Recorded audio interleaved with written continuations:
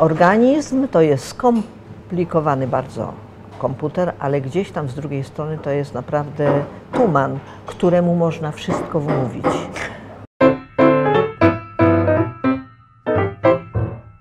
Cześć. Dzisiaj gościem e, programu Chwila Moment jest Urszula Dudziak. Witam, Dzięki, że do nas przyszłaś. dzięki za zaproszenie. I powiedz mi proszę, w jakim momencie Twojego życia Cię dziś łapiemy? Jestem w ekstazie.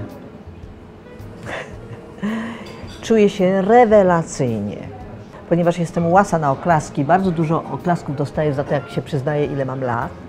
Skończyłam e, dwa tygodnie temu 71 lat.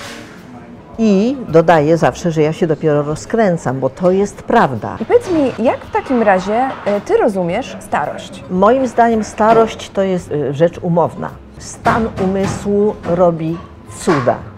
Y, Organizm to jest skomplikowany bardzo komputer, ale gdzieś tam z drugiej strony to jest naprawdę tuman, któremu można wszystko wmówić. A to jest taka mądrość, która przyszła na jakim etapie? Miałam parę takich sytuacji, w których okazało się, że to, co myślałam o sobie, w ogóle nie ma, jest bez sensu. Do wniosku takiego doszłam, że zresztą trochę czytałam na ten temat, że my się rodzimy niewinni, czyści, wspaniali, geniusze jako dziec, dzieci. Potem rośniemy i są społeczne uwarunkowania.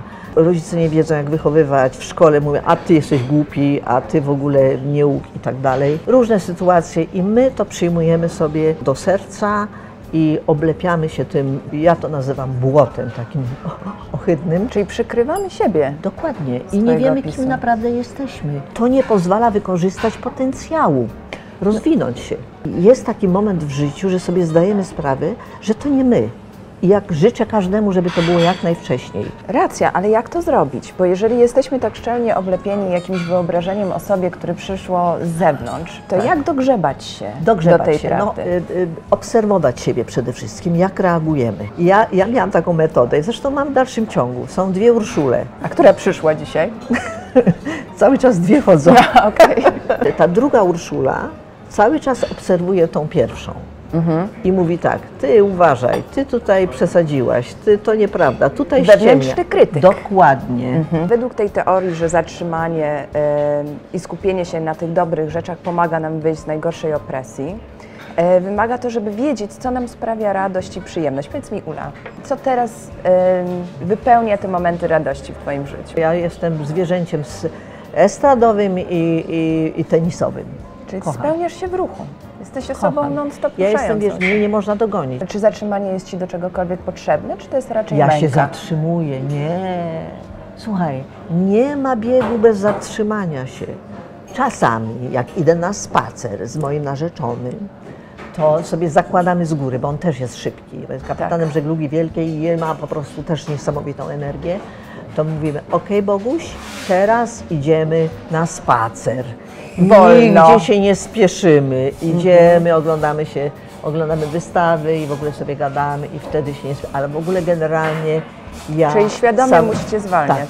Czy jest coś, czego nie potrafi Ula Dudziak?